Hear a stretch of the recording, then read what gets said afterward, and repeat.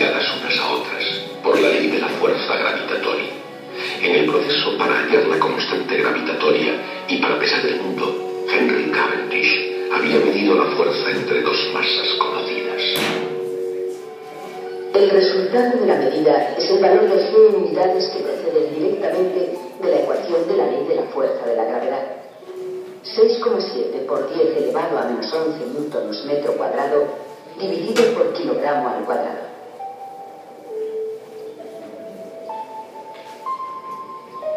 También se puede utilizar una medida similar para hallar la constante eléctrica.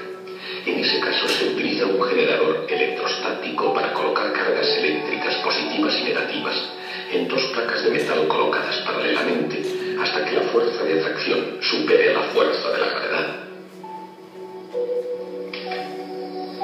De la fuerza entre las placas se puede deducir la fuerza entre cargas puntuales.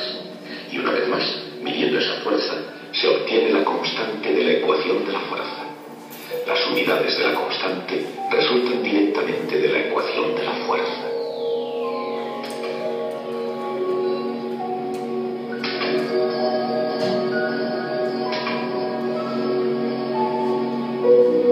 La constante es igual a 9 por 10 elevado a 9 newtons metro cuadrado dividido por coulombio al cuadrado.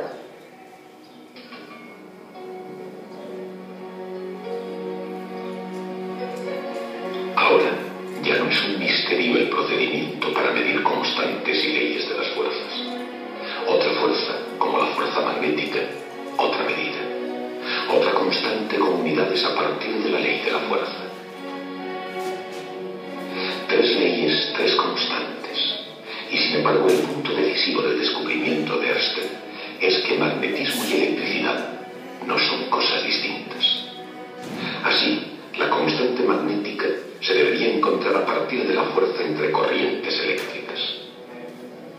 Si la corriente eléctrica fluye por dos barras metálicas, la fuerza magnética entre ellas es suficiente para que se atraigan. Aquí no hay polos magnéticos y la fuerza es proporcional a las dos corrientes medidas en amperios o coulombios por segundo y las longitudes de las dos barras en metros.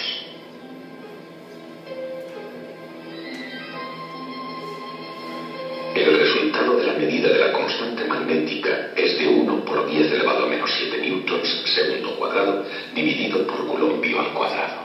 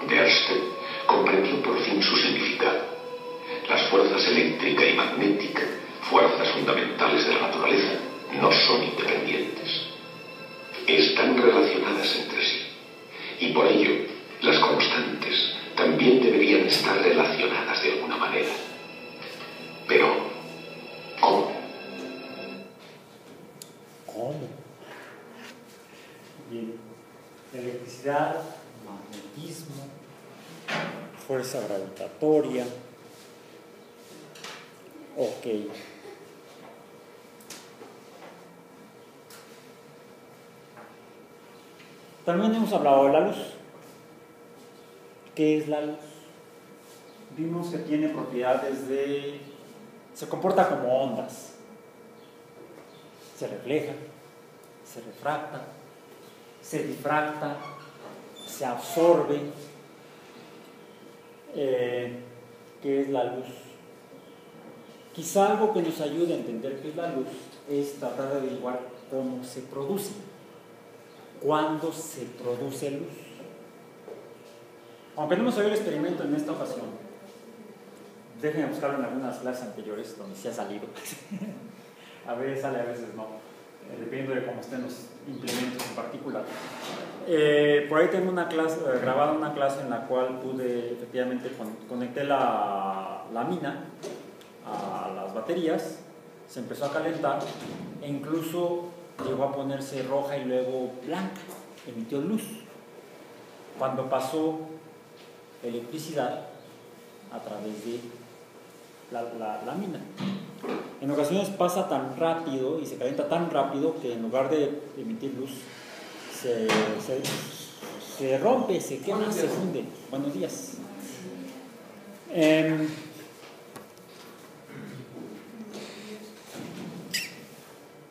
cuando se produce una chispa, por ejemplo en la cabeza de un encendedor, se produce luz. Se están tallando materiales, una piedra con un metal. Una piedra que está adentro con el metal de la rueda que está aquí. Y cuando la hago rodar, se producen chispas que emiten luz. Chispas que también vimos que se producen cuando eh, frotamos un suéter, un suéter de lana, por ejemplo, y, si está muy oscuro, a la hora que nos, en el momento que nos quitamos el suéter, se, alcanzamos a ver pequeñas chispas también. Pareciera que están relacionadas con la electricidad. Incluso, si es cierto que aquí adentro tengo un líquido, que ese líquido es gas, o es gas el líquido, ese líquido es propano. Cuando abro la llave, sale el propano, que pasa del líquido a gas, y cuando ese gas entra en contacto con esas chispas, se produce luz. Si se toca esta luz en particular le llamamos flama. Esta luz es como plasma. Más bien, el plasma produce luz. Un plasma es un gas, ahí está el gas, no lo veo, pero cuando eh, adquiere carga eléctrica debido a que le pongo cargas eléctricas, como las son las chispas, las, chispas. Las cargas eléctricas producen las chispas, una de esas cargas eléctricas entra en contacto con el gas y lo transforma de un gas invisible a un gas que ahora está emitiendo luz. Por cierto, está emitiendo luz de dos colores al menos. Color azul y color amarillo. E incluso otro color acá arriba que no veo, pero que sí siento calor. Una luz que descubrió, eh, ¿quién fue? Era músico también y astrónomo. William Herschel. Sí, William Herschel. Descubrió que, es, que aquí hay una luz que no veo, infrarroja. Entonces, la electricidad pareciera estar asociada a la luz. Déjenme ver si lo podemos apreciar en esta. Sí, aquí, aquí lo puse. Estaba lloviendo hace un momento. Screen. We notice that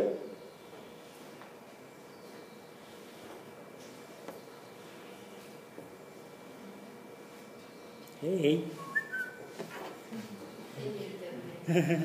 sí. Lo voy, a, lo voy a desconectar de aquí. A screen. Ah. To demonstrate a Crookes tube. Sí, es el ancho de banda de internet, pero bueno. Va de nuevo. Espero.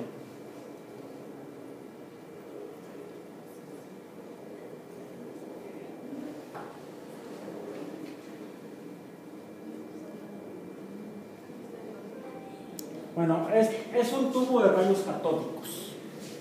Lo pueden encontrar así en. Eh, en YouTube buscan con esas palabras cathode ray tube al electrón. Y lo que se debe ver, si es que se ve, es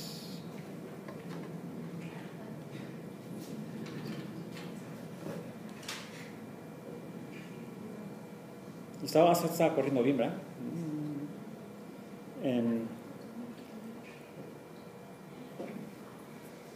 Voy a regresar al navegador. ni, ni, ni fu ni fa. Ni uno ni otro, ni el celular, ni la ni internet. Ok. Me regreso. Aquí está. Me lo busqué con las palabras. Cathode ray. Rayos catódicos. Bien. Eh, déjenme ver si encuentro, si aquí en imágenes. Ok. ¿Qué es un tubo de rayos catódicos? Es un tubo de, de vidrio,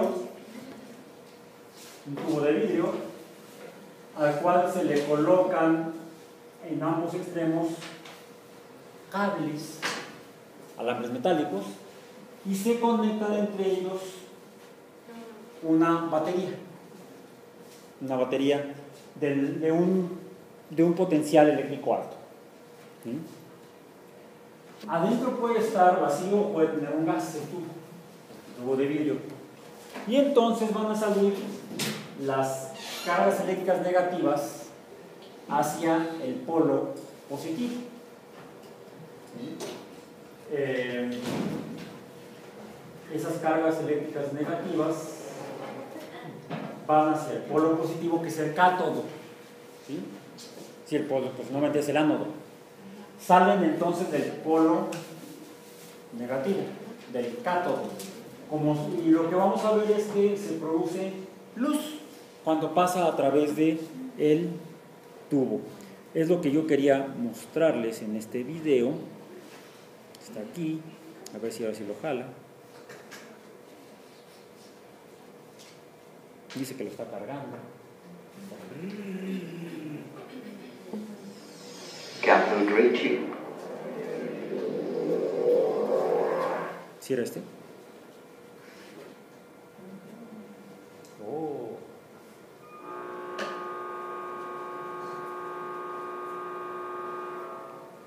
Es que no me acuerdo si era este.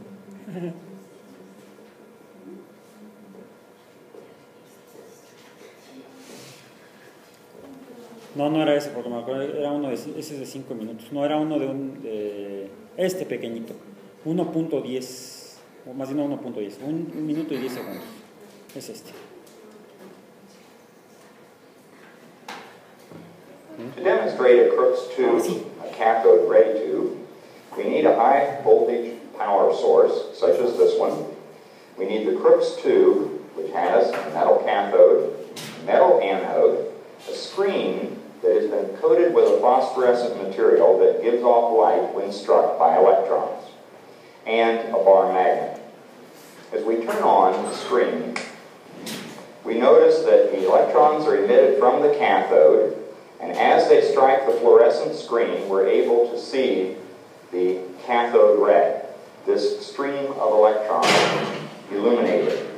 We can use a magnet to show the deflection of that stream. Here we can see the electrons being deflected by the magnet. The cathode ray moves upward. If we reverse the magnet, we would predict that the beam would be deflected in the opposite direction. And we observe that the beam is deflected downward.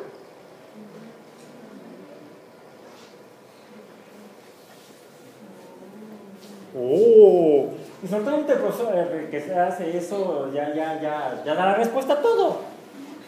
Eso no tiene, no tiene ningún chiste. No, lo interesante es, eh, lo que estamos viendo en realidad, podemos creerle lo que nos dijo, palabra de Dios.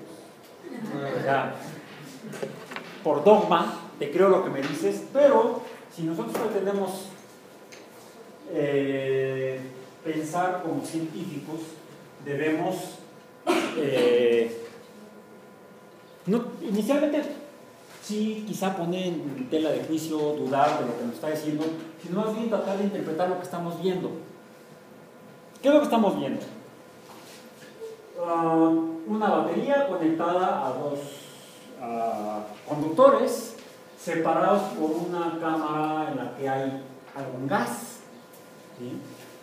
Y yo sé que he visto que la corriente eléctrica pasa de donde están las cargas negativas que decía Franklin hacia el lado positivo. Diríamos, de la electricidad resinosa a la electricidad vítrea, de lo negativo a lo positivo. Y lo que veo es que las cosas negativas al moverse están produciendo luz. Igual que lo vi en el caso de las chispas de la cabeza del encendedor. Entonces pareciera que la electricidad está relacionada con la luz. Y no solo eso, al acercar un imán, lo que vemos es que esas cosas que tienen carga eléctrica y que están produciendo luz también se desvían en función de la forma en la que se presenta el magnetismo alrededor. Es decir, electricidad, luz magnetismo están relacionados con lo vimos en el video, o como nos dijeron en el primer video, y hasta nos mostraron tres fórmulas o ecuaciones que se parecen mucho. ¿Qué son la electricidad, el magnetismo y la luz? Orsted demostró a través del experimento con la brújula y la corriente eléctrica que la electricidad y el magnetismo están relacionados. La electricidad produce magnetismo que influye en la aguja magnética de la brújula. Posteriormente Faraday demostró que al acercar un imán a un alambre conductor, en el alambre conductor se producía una corriente eléctrica. Es decir, la electricidad produce magnetismo y el magnetismo produce corriente eléctrica, electricidad, fuerza eléctrica, la fuerza para mover las cosas que presentan ese fenómeno llamado electricidad. Entonces, definitivamente, de manera observacional experimental, podemos concluir que la electricidad y el magnetismo están relacionados. Y ahora, a través del tubo de rayos, de ambos rayos porque vemos luces, del tubo de rayos que salen del cátodo, pues lo llamamos rayos catódicos, y sabemos que los rayos catódicos tienen carga negativa, están produciendo luz.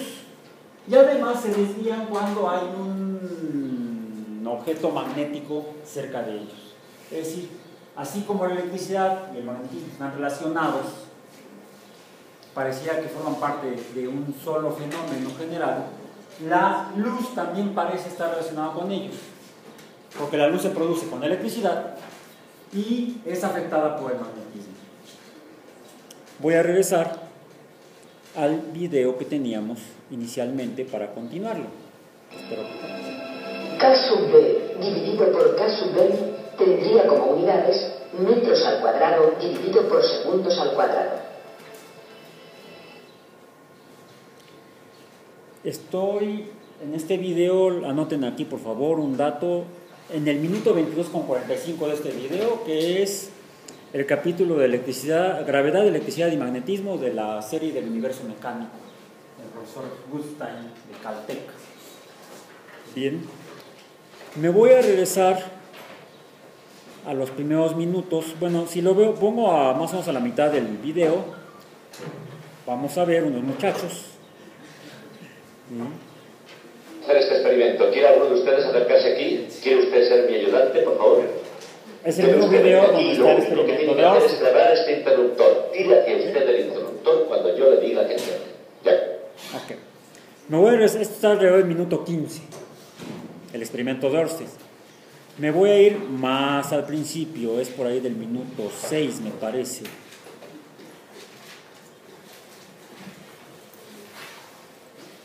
Sí. Durante mucho tiempo, la velocidad de la luz era algo más allá de la capacidad de comprensión. En la antigüedad, los científicos la consideraban como algo infinito, como un fenómeno que viaja instantáneamente desde la fuente hasta el observador. Pero unas cuantas personas comenzaron a sospechar algo diferente. En 1675, Olaus Römer, astrónomo danés del Real Observatorio de París, observó un aparente retraso en los eclipses de los satélites de Júpiter y lo utilizó para estimar la velocidad de la luz. En 1849, Armand Fizeau utilizó una rueda giratoria para medir la velocidad de la luz. La midió tanto en el aire como en el agua. En 1850, otro físico francés, Jean Foucault, hizo otro tanto. Inventor del giróscopo, Foucault midió la velocidad de la luz con un espejo giratorio. Esos experimentos eran bastante avanzados para aquellos tiempos y de hecho nadie consiguió nada mejor hasta los años 20.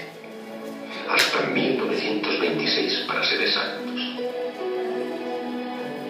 Ese año, el profesor Albert A. Michelson midió con precisión el tiempo que la luz tardaba en recorrer la distancia entre los picos de montaña en Los Ángeles, del monte Wilson al monte San Antonio. Las dos cumbres están separadas unos 30 kilómetros. La luz necesitó en su recorrido una diez milésima de segundo. Era un tiempo suficientemente grande para que Michelson hiciera la medida con precisión. 30 kilómetros.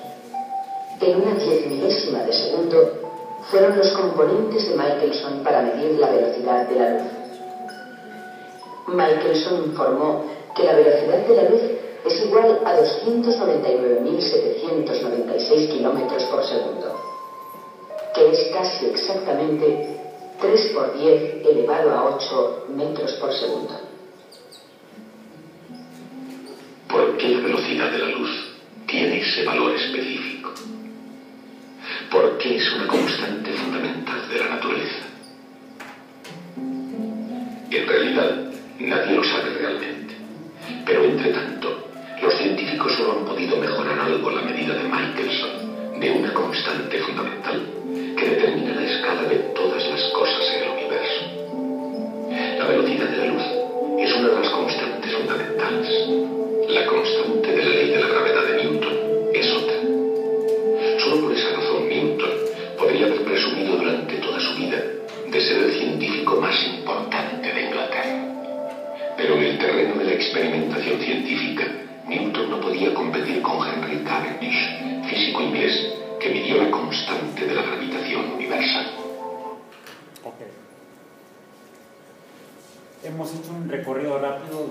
Se dan cuenta cómo está todo ligado. Comenzamos con Galileo, Newton.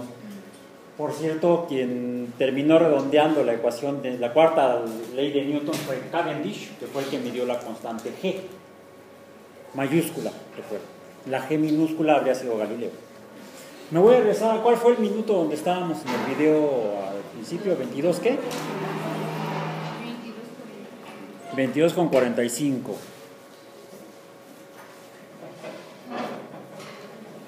Veintidós.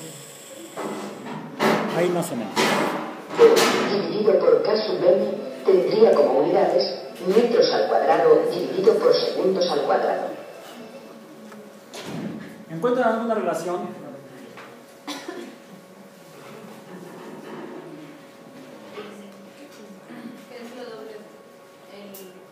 ¿Es el, el doble?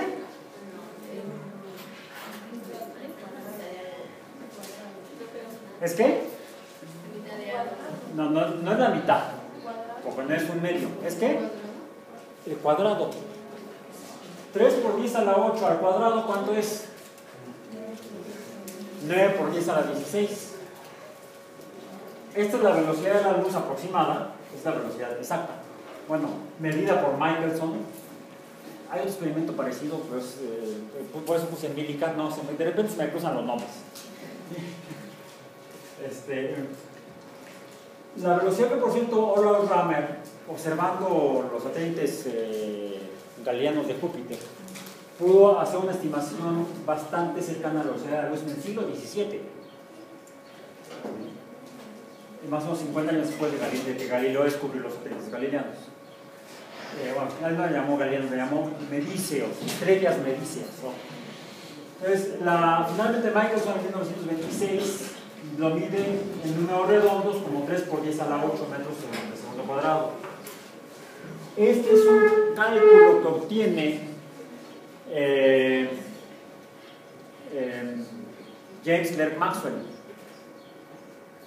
en el siglo XIX. O sea, eh, después de Romer, que había obtenido una cifra similar a esta. Por eso puse esta. Eh, no, no- no se necesitaba la cifra exacta calculada por Michelson al siglo siguiente, fue en el siglo XX, o sea, el siglo pasado. Ese fue entonces un, una cifra que obtuvo, eh, decíamos, eh, Maxwell en el siglo XIX, después de que Romer llegó a este número.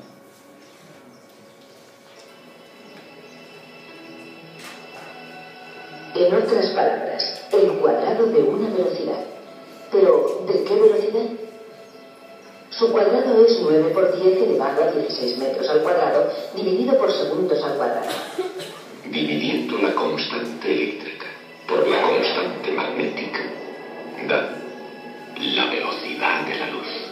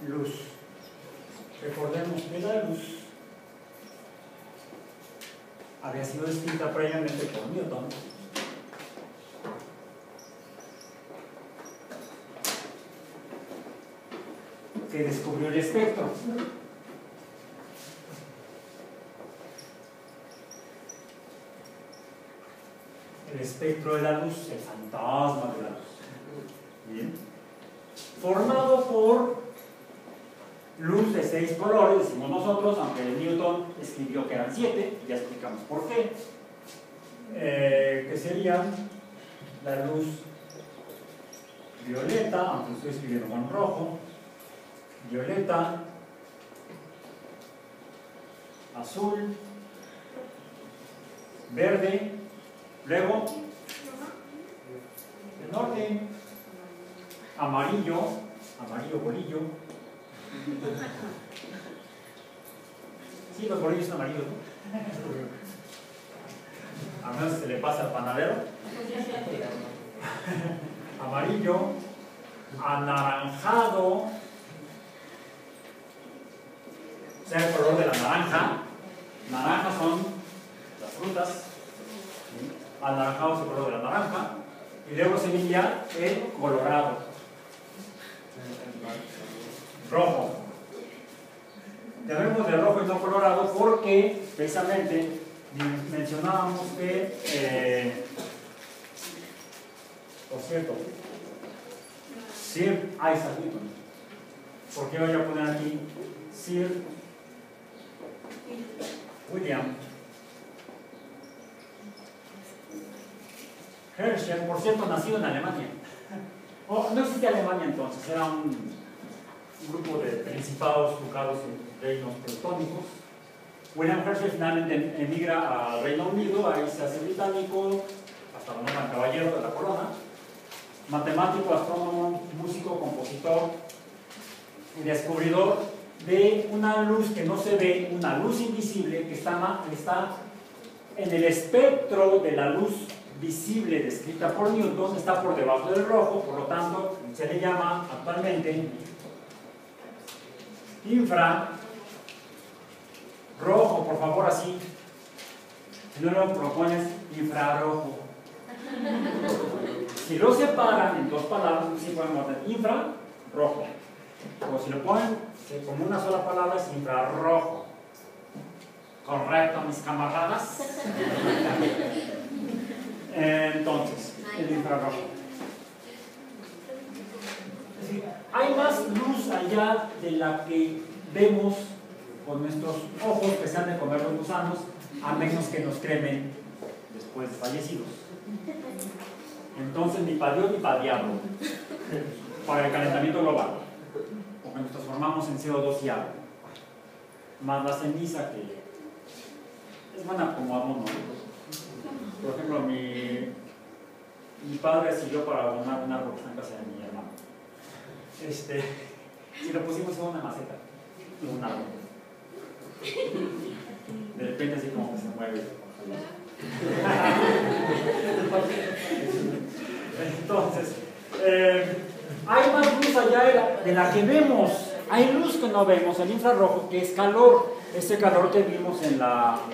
Abajo no vimos.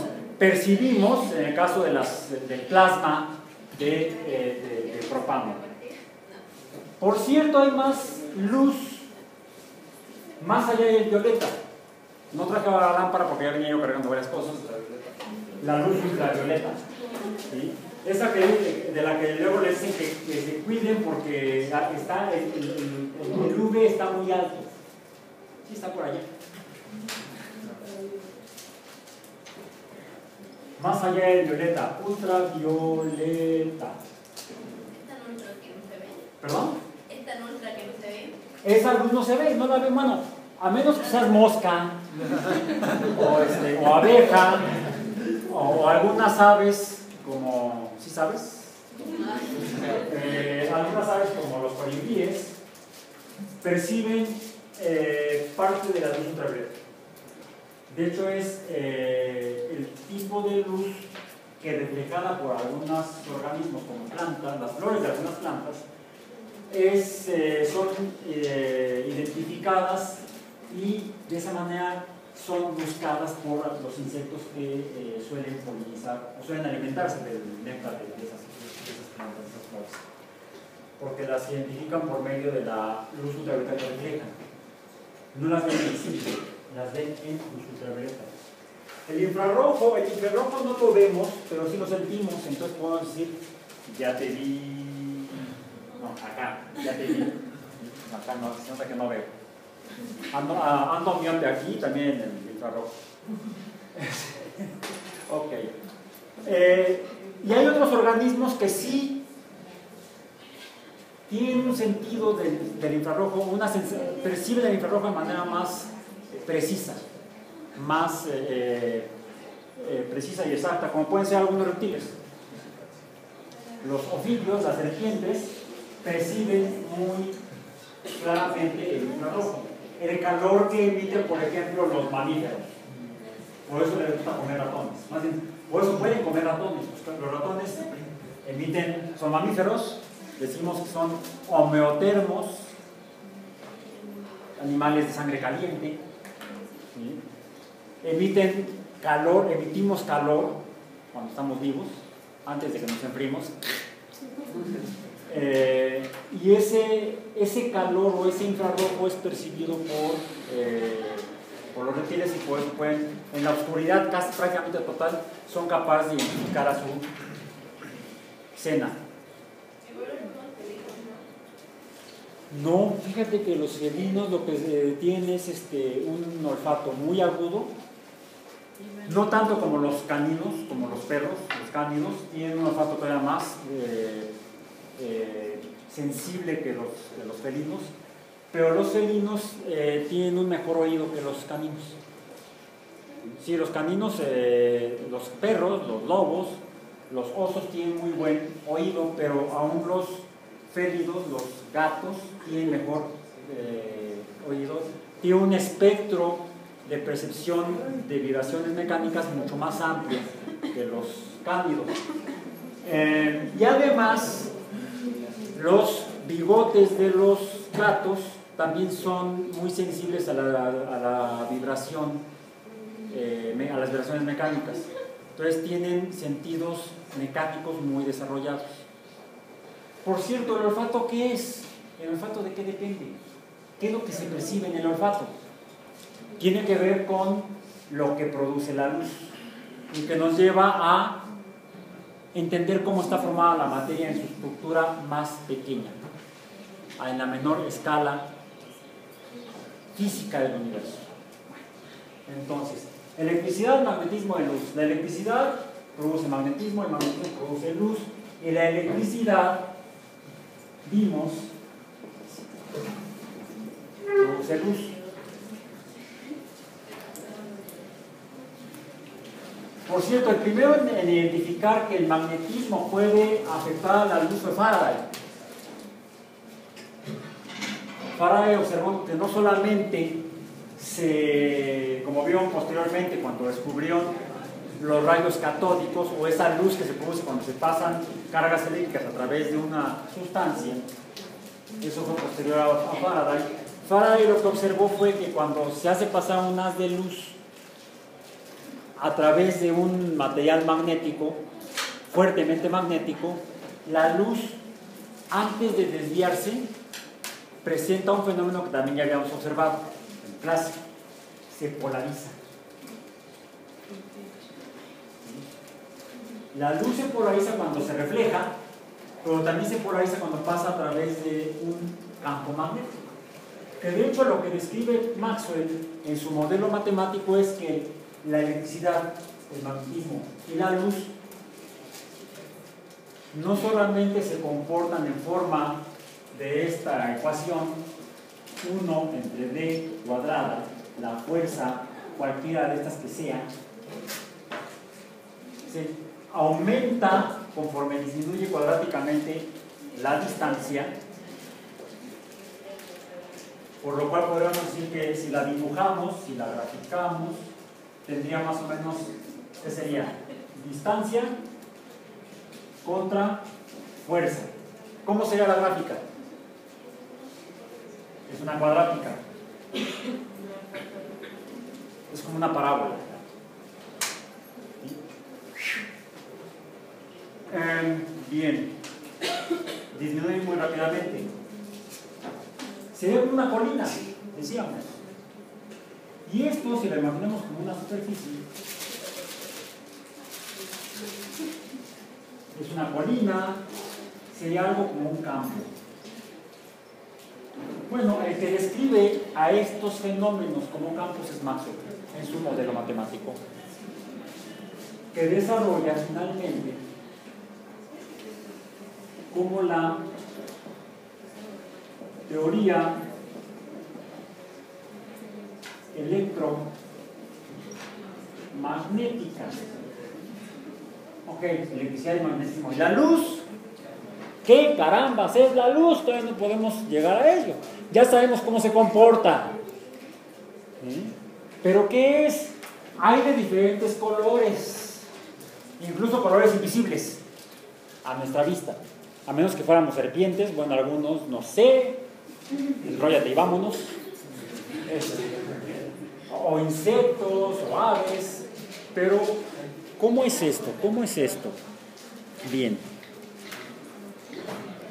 Eh, ok.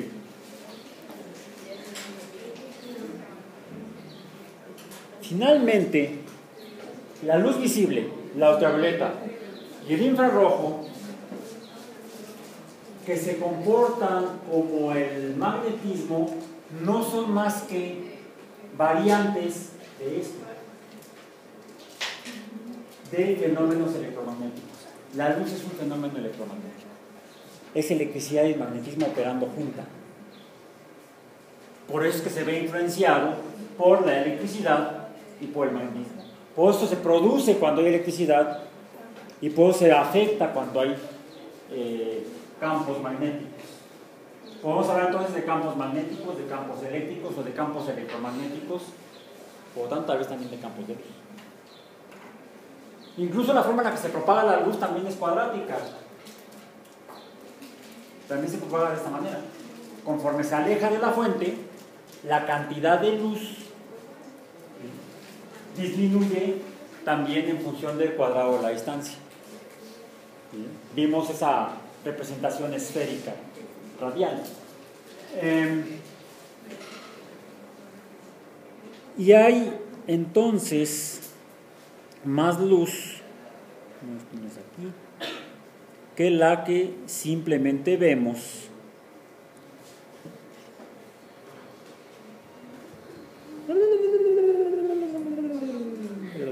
Es que son un montón de imágenes. Eh, déjenme ver. Como por ejemplo Fíjense, incluso veamos la flama la flama del, del, pequeño mechero, el encendedor. ¿Qué es lo que observamos? Que los colores dependen de la temperatura. Bien. Eso por un lado. Por otro lado, ¿qué observamos? Una gráfica donde se muestra cómo diferentes sustancias naturales, porque son de organismos, de plantas, sustancias que además vemos presentan color, ¿o no? La clorofila, ¿de qué color es? Verde. El caroteno, ¿de qué color es? De las zanahorias, anaranjado. Las psicocianinas, ¿de qué color son? Azul violeta. Bien. La ficoeritrina, roja. Bien. Em, ¿Por qué la las clorofilas son verdes? ¿Por qué los carotenos son anaranjados? ¿Por qué la ficocianina es azul y por qué la ficoeritrina es roja?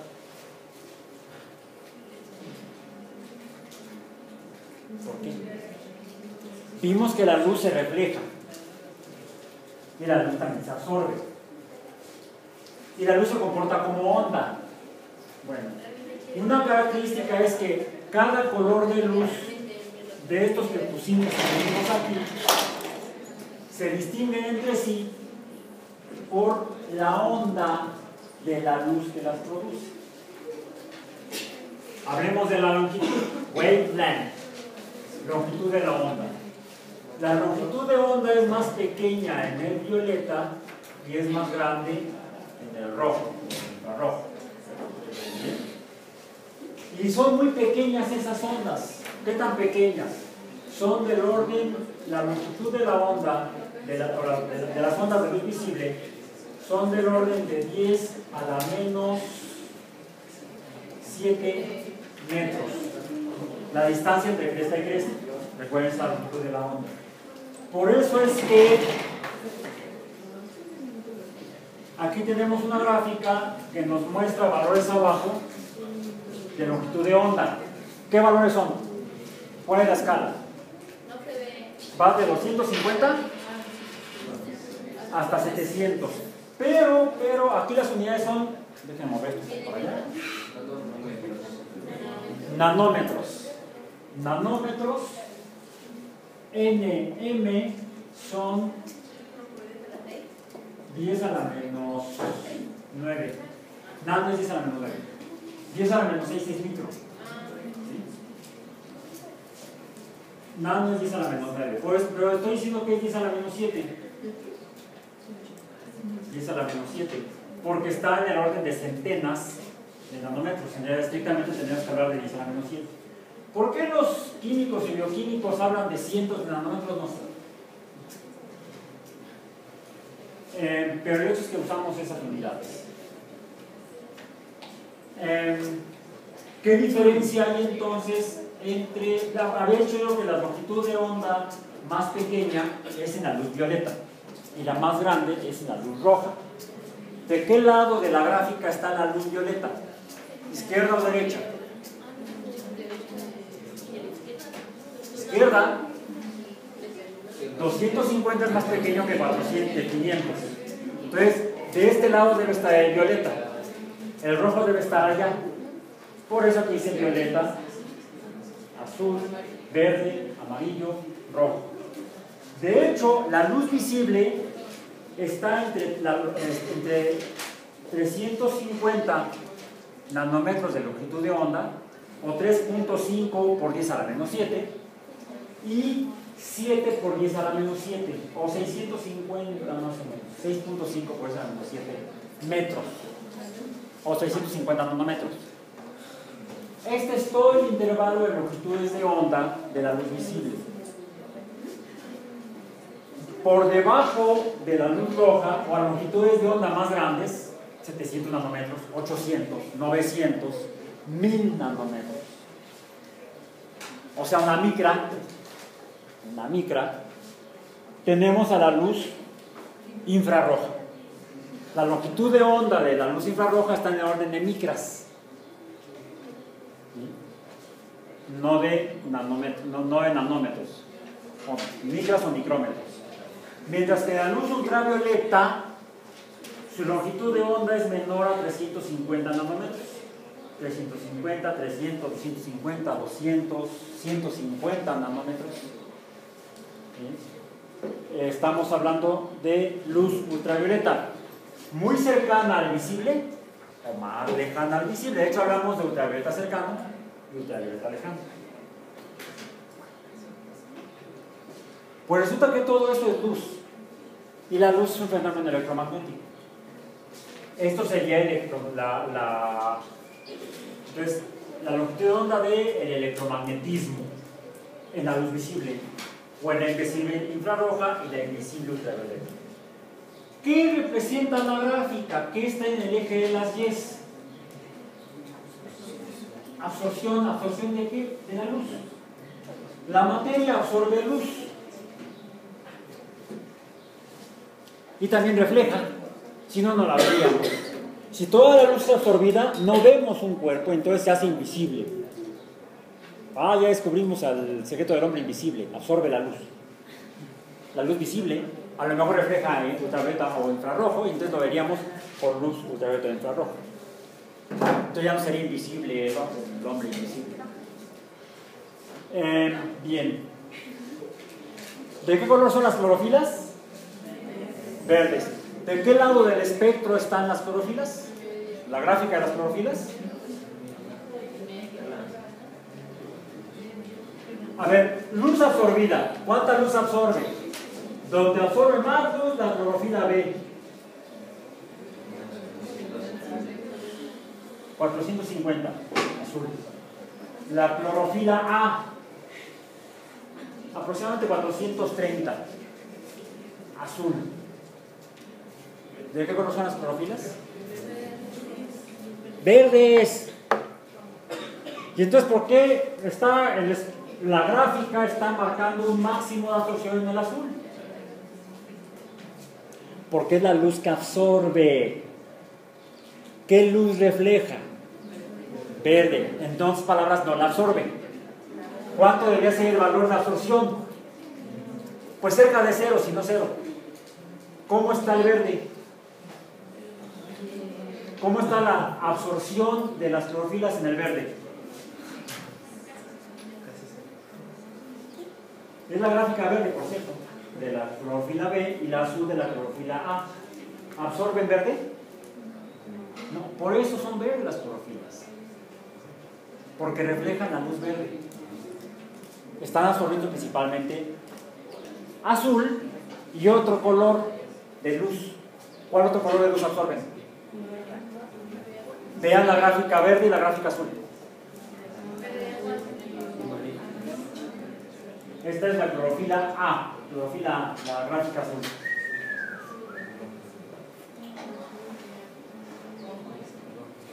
Rojo 650 aproximadamente, 660 más o menos. ¿Sí? Y la clorofila B, rojo, 650 aproximadamente. Entonces, ¿cuáles colores absorben las clorofilas? Azul principalmente y rojo, no verde. Si ustedes quieren hacer un invernadero y lo que tienen es un cuarto cerrado, si no pueden, ¿qué van a hacer? Pues le vuelve el techo. No, ¿qué pueden hacer? Poner lámparas. ¿De qué color? roja o azul. O las dos es una combinación de rojo y azul. El rojo y el azul, cuando se combinan, ¿qué color producen? Violeta, no morado. Yo no veo aquí el ultramorado, ni el ultralila. Violeta. Eh, En física debemos hablar de violeta. Una buena muchacha, por si. Este, bien, entonces, eh, ¿de qué color son las zanahorias? Anaranjar, no, no son naranjas, son zanahorias. ¿De qué color son las naranjas? Zanahoria. Anaranjadas, las zanahorias, las naranjas son anaranjadas, las mandarinas son naranjadas. ¿Cuál debe ser el, el compuesto que les da color a, esas, a esos vegetales? Pues probablemente el caroteno. ¿Por qué el caroteno? No debe ser anaranjado. El anaranjado está aquí, aquí medio, entre el amarillo y el rojo. Aquí está el anaranjado. ¿Cuáles sustancias absorben anaranjado? Anaranjado. Un poco la clorofila A, no, la clorofila B, perdón. ¿Y quién más? La ficocianina. Las ficocianinas absorben anaranjado y principalmente amarillo. ¿Por qué son azules? Salud. Pues porque reflejan el azul. Absorben un poco, por cierto, de violeta, fíjense. Absorben violeta y ultravioleta. Bien. También las ficoeritrinas, ¿de color son? ¿Rojas? ¿Por qué son rojas? Porque absorben entre verde y amarillo y reflejan el rojo. Es un color que no absorbe nada, reflejan el rojo. Por eso las ficoeritrinas son rojas. Bien. Entonces, el color de la luz que absorbe la materia o refleja nos está diciendo de qué o cómo está hecha la materia a nivel de su estructura más pequeña. Ya vimos que cuando le ponemos una carga eléctrica, una chispa, produce luz. La luz que produce también tiene que ver con cómo está hecha la materia. Y hay algo interesante, esos rayos catódicos salen del cátodo cuando la materia pierde cargas eléctricas negativas. Por eso fue que el profesor que nos mostró el tubo de rayos catódicos habló de electrones. La invención del tubo de rayos catódicos llevó al descubrimiento de los electrones en la materia. Partículas que tienen carga eléctrica negativa y que forman parte de la materia. Finales del siglo XIX, Thomson descubre el núcleo atómico como una, el centro de la, de- de- de la materia y además con carga positiva. Por lo cual llegamos a al descubrimiento de la estructura de la materia en su escala más pequeña, del átomo. El átomo está formado por partículas con carga eléctrica. Y por eso existe, porque ambas partículas tienen carga eléctrica, carga eléctrica diferentes. En otras palabras, de acuerdo a la ecuación de la fuerza eléctrica, pueden mantenerse unidos porque tienen carga eléctrica diferente. Si tuvieran carga eléctrica igual, los átomos no existirían y entonces ustedes no estarían aquí y yo tampoco. Seríamos algo en el universo, pero no lo que somos aparte. Entonces, el descubrimiento de la relación entre electricidad, magnetismo de luz, nos dio luz sobre la naturaleza de la materia en el universo. Cómo está formada. No de qué, sino cómo. Y luego a partir de cómo, el de qué. De partículas con carga eléctrica. A las que ahora llamamos partículas con carga eléctrica protones, con carga eléctrica eh, positiva protones y con carga eléctrica negativa electrones. Que además se pueden separar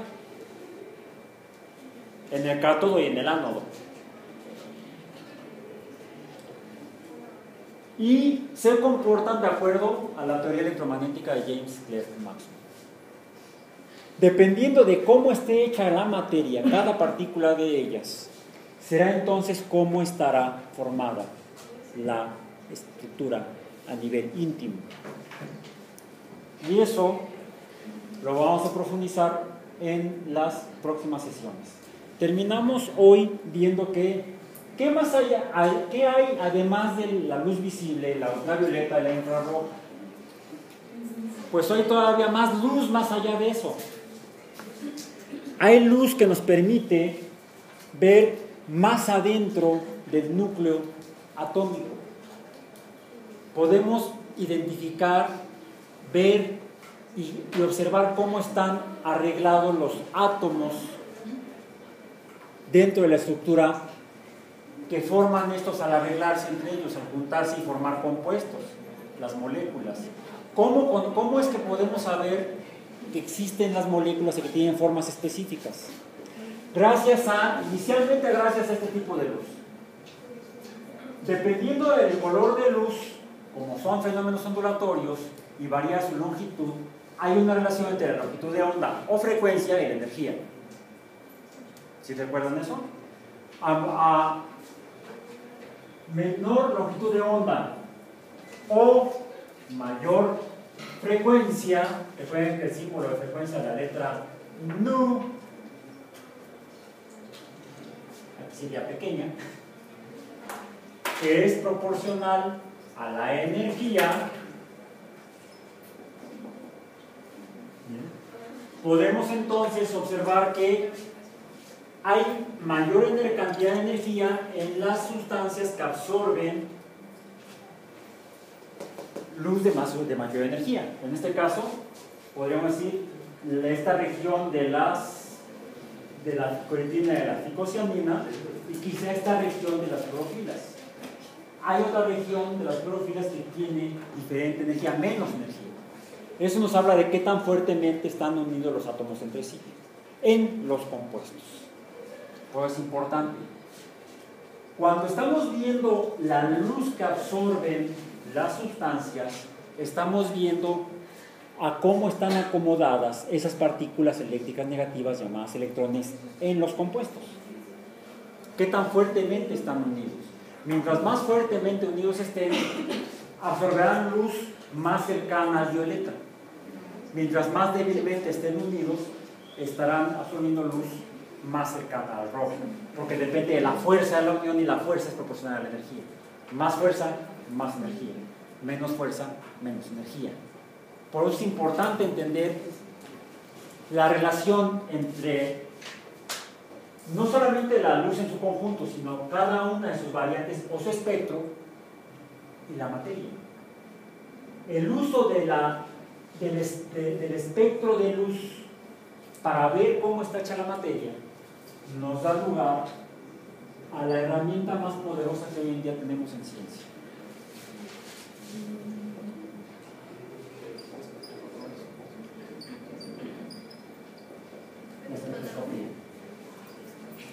¿Qué tan poderosa es? Podemos ver las moléculas, podemos ver cómo están los átomos en las moléculas, por ejemplo, en las, eh, en las biomoléculas, en las moléculas de interés biológico, las moléculas que forman a los seres vivos. Pero no solamente eso, podemos incluso, incluso, podemos usar diferentes colores de luz para poder conocer cómo están de qué están hechas las estrellas como el Sol. De hecho, lo que estamos viendo aquí es el Sol en diferentes colores de luz, en diferentes regiones del espectro. Es espectroscopía solar. Esto es luz visible, aunque con un filtro amarillo, por eso se ve el sol amarillo. No es que el sol sea amarillo, es blanco, ya, hemos hablado de ello. Por eso le da una manchita.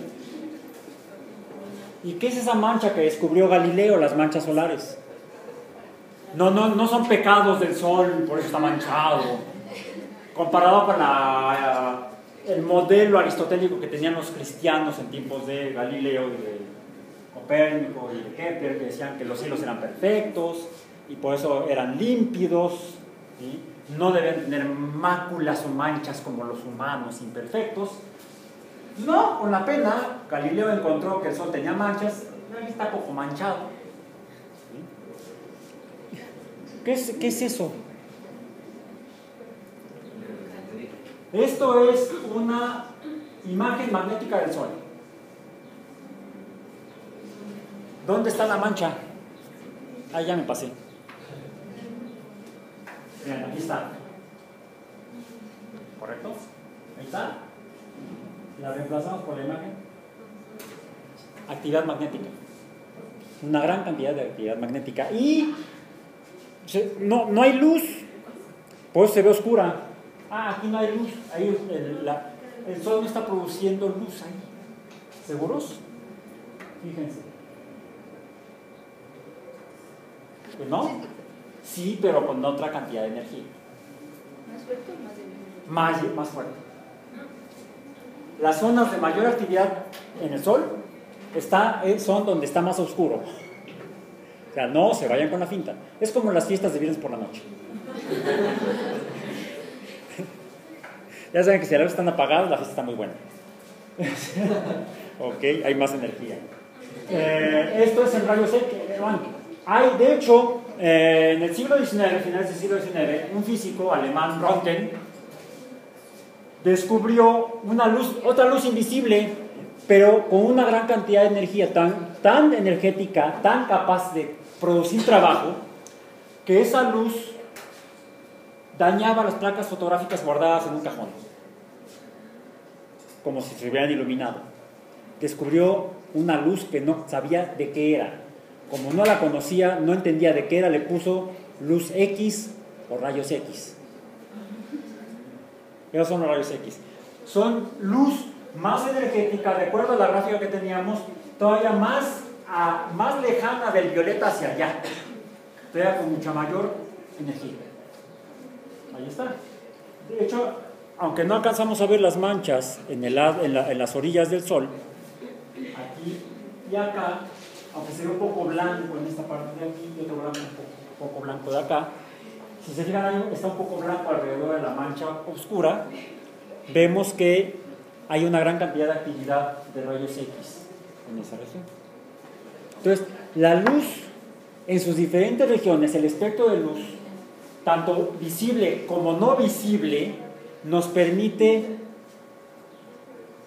ver más allá de lo que nuestros sentidos naturales nos permiten. Son capaces.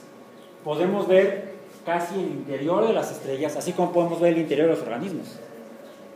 Rayos X en, estrellas, en este caso está emitiendo, es una fuente de rayos X, o podemos ver cómo absorben o no rayos X. Eh, déjenme ver, esto lo tengo por acá. Eso fue, fue en Universum. Este es el Museo de Historia Natural. Esto es Universum. Acá está. Ah, acá está.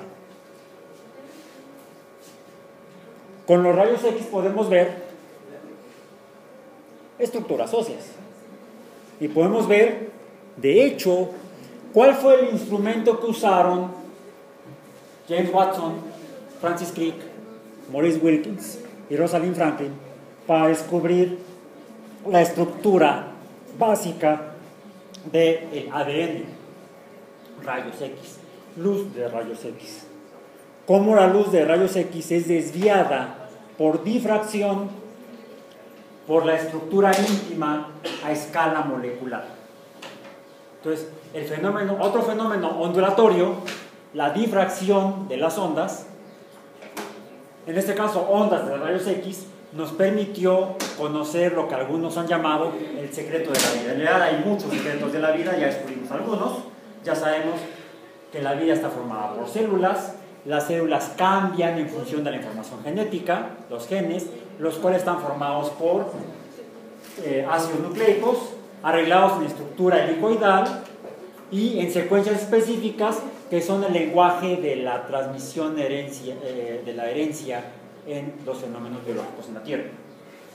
Gracias a que, pues tanto los experimentos con chícharos de Mendel, como las observaciones de campo de Darwin, como el descubrimiento de los rayos X por Röntgen, como el descubrimiento de que los rayos X pueden desviarse por las moléculas por Lawrence y Henry Bragg, y gracias a la técnica de cristalografía de rayos X desarrollada por Lawrence y Henry Bragg, fue que Linus Pauling pudo descubrir la estructura de, la- de las proteínas y el equipo de físicos y biólogos del Cavendish pudieron descubrir la estructura del gene predicho un siglo antes por Mendel. De ahí la importancia de la física en la biología e incluso en cuanto a la teoría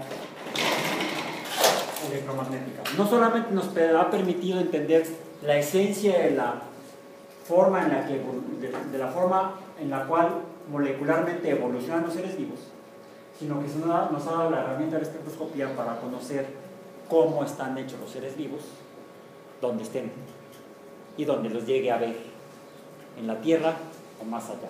Nos vemos la próxima vez.